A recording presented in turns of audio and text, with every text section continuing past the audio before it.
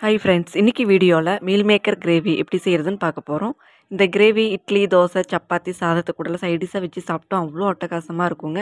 ரொம்பவே ஈஸியாக செஞ்சிடலாம். வாங்க எப்படி செய்கிறதுன்னு பார்ப்போம்.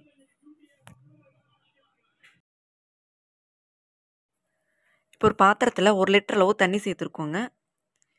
ஒரு ஸ்பூன் அளவுக்கு உப்பு சேர்த்துக்கலாம். ஒரு கப் அளவுக்கு நான் மீல் மேக்கர் எடுத்திருக்கேங்க. நல்லா பெரிய சைஸ்லேயே எடுத்திருக்கேன். இது இப்போ இந்த தண்ணியில் சேர்த்துக்கலாம். தண்ணியில் சேர்த்துட்டு ஒரு நாலு நிமிஷம் நல்லா கொதித்து வரட்டும். பாருங்கள் இந்தளவுக்கு நல்லா கொதித்து வரணும். அப்பப்போ இடையில் இந்த மாதிரி கிளறி விட்டுக்கிட்டே இருங்க. அப்போ தான் எல்லா பக்கமுமே கரெக்டாக வெந்து வரும்.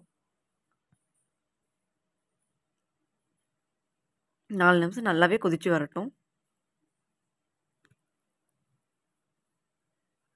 பாருங்கள் நாலு நிமிஷத்துக்கு அப்புறம் நல்லா கொதித்து வந்திருக்குது. மீல் மேக்கரும் நல்லா வெந்திருக்கு. இது இப்போ வேற ஒரு பாத்திரத்தில் மாற்றிக்கலாம் இப்போ வேக வச்ச மீல் மேக்கரை வேறு ஒரு பாத்திரத்தில் மாற்றியாச்சு இப்போ இதில் ஒரு டம்ளர் அளவுக்கு நார்மல் தண்ணி சேர்த்துக்கலாம்.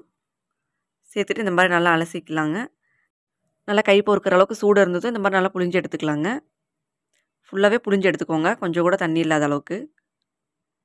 இது எல்லாமே இப்போ வேறு ஒரு பிளேட்டில் எடுத்து வச்சுக்கலாம். பாருங்கள் நம்ம புளிஞ்ச மீல் மேக்கரை வேறு ஒரு பிளேட்டில் எடுத்து வச்சாச்சு.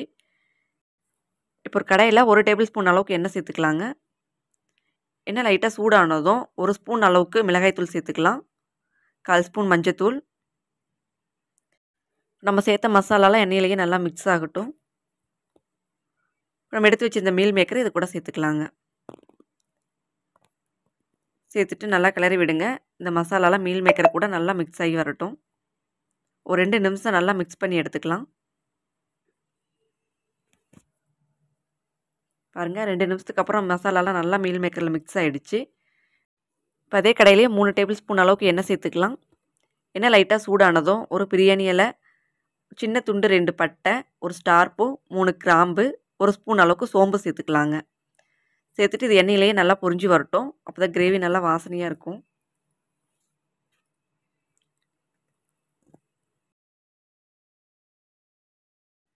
இந்த டைமில் ரெண்டு பெரிய வெங்காயம் நல்லா பொடியாக கட் பண்ணி சேர்த்துக்கலாங்க. எந்த அளவுக்கு பொடியாக கட் பண்ண முடியுமோ அந்தளவுக்கு நல்லா ஃபுல்லாகவே பொடியாக கட் பண்ணி சேர்த்துக்கோங்க. மீடியம் சைஸ் வெங்காயமாக இருந்துச்சுன்னா மூணு வெங்காயம் சேர்த்துக்கோங்க. வெங்காயம் நல்லா கிளறி விட்டு எடுத்துக்கலாம்.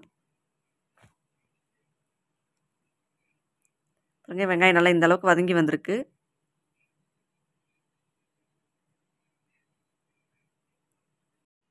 இப்போ இந்த டைமில் ரெண்டு தக்காளியை அரைச்சி சேர்த்துக்கலாங்க. நீங்கள் டேரெக்டாக தக்காளி சேர்த்துறதுக்கு இந்த மாதிரி அரைச்சி சேர்த்தும் போது நல்ல ஒரு கிரேவி பதம் கிடைக்கும். அதனால் அரைச்சி சேர்த்துக்கோங்க பாருங்கள் வெங்காயம் தக்காளி நல்லா வதங்கி வந்திருக்கு. இப்போ ஒரு ஸ்பூன் அளவுக்கு இஞ்சி பூண்டு பேஸ்ட்டு சேர்த்துக்கலாம் இஞ்சி பூண்டு பேஸ்ட்டோட பச்சை வாசனை போகிற அளவுக்கு நல்லா வதக்கி விட்டுக்கலாங்க. பாருங்கள் நல்லா வதங்கி வந்திருக்கு. இந்த டைமில் மசாலா சேர்த்துக்கலாம் ஒரு கால் ஸ்பூன் அளவுக்கு மஞ்சத்தூள். ஒரு ஸ்பூன் மிளகாய்த்தூள். ஒரு ஸ்பூன் மல்லித்தூள் ஒரு ஸ்பூன் அளவுக்கு கரம் மசாலா சேர்த்துக்கலாம் ஒரு ஸ்பூன் பெப்பர் பவுடர் இந்த மசாலாவோட பச்சை வாசனை போகிற அளவுக்கு நல்லா கலந்து விட்டு எடுத்துக்கலாங்க.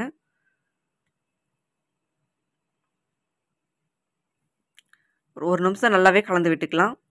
இப்போ மசாலாவோட பச்சை வாசனை போய் எண்ணெய் பிரிஞ்சு வந்திருக்குதுங்க. இந்த டைமில் ஒரு மூணு ஸ்பூன் அளவுக்கு தயிர் சேர்த்துக்கலாம். புளிப்பு இல்லாத தயிராக சேர்த்துக்கோங்க.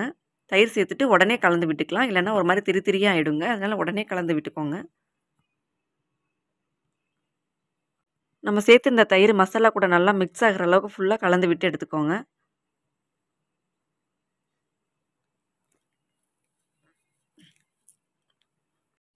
இப்போ இந்த டைமில் ஒரு அஞ்சாறு புதினா இலை சேர்த்துக்கலாங்க. லைட்டாக மல்லி இலை சேர்த்துக்கலாம். புதினாவும் மல்லி இலையும் அதிகமாக சேர்த்த வேணாங்க. இந்த மாதிரி லைட்டாக மட்டும் சேர்த்துக்கோங்க. ஜஸ்ட் அந்த ஃப்ளேவருக்காக தான் சேர்த்துக்கிறோம். இந்த டைமில் நம்ம ஃப்ரை பண்ணி வச்சுருந்த மீல் மேக்கரை இந்த கிரேவி கூட சேர்த்துக்கலாம். சேர்த்துட்டு கிளறி விட்டுக்கலாங்க. இந்த மசாலாலாம் அந்த மீல் மேக்கர் கூட நல்லா மிக்ஸ் ஆகிற அளவுக்கு நல்லா கலந்து விட்டு எடுத்துக்கோங்க.